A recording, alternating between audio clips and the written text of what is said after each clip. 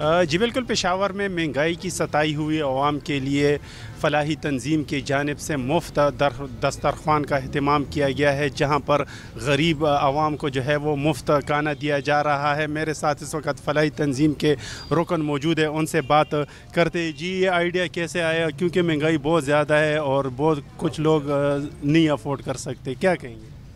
बिस्मिल्लाह actually नेकी foundation ने रमज़ान मुबारक में पूरा अरसा जो है हमने मोबाइल अवतार और दस्तरखान का अहतमाम किया था।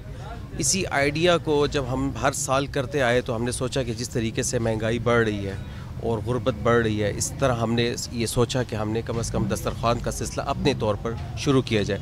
चूँकि हल्का दरुदसलाम पाकिस्तान पूरी दुनिया से दरुद पाक कलेक्ट करने की एक बहुत बड़ी गैर सियासी तंजीम है।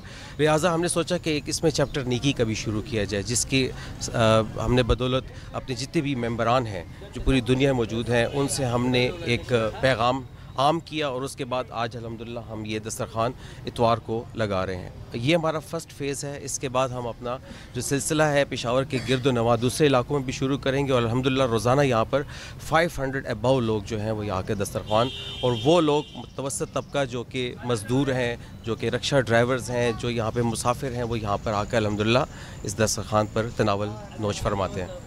जैसा कि आप लोग देख रहे हैं कि फलाई तंजीम के रुकन का कहना है कि 500 से ज़ायद अफराद को जो है वो रोज़ाना की बुनियाद पर मुफ़्त खाना जो है वो फरहम किया जा रहा है और किया जाएगा। जी।